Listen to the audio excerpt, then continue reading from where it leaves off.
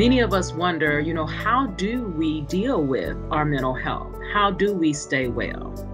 Here are a few tips. Take a breath and acknowledge how you feel.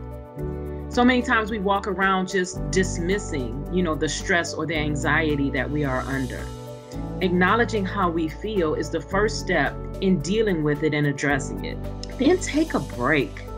Take a break from all of those things that are adding to your stress and anxiety. It's not required of you to listen to every news program and every update every hour. Take a break from social media if it's overwhelming as well and allow yourself to focus on those things that bring you joy, which is my next step.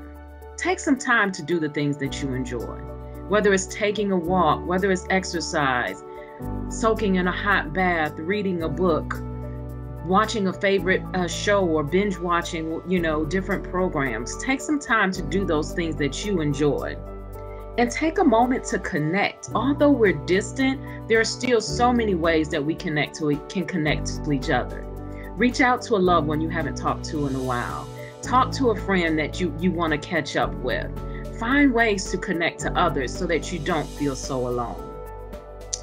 And when we think about things with regards to social injustice and civil un- unrest, feel free to take a stand in ways that you feel comfortable.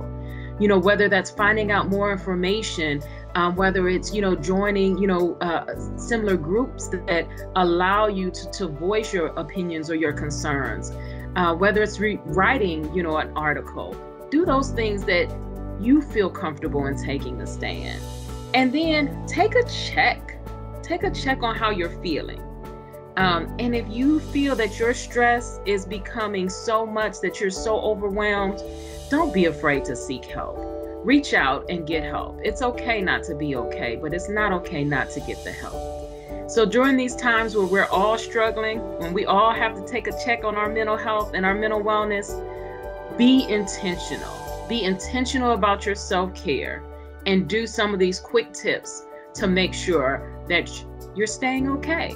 And let's all look out for each other. Thanks.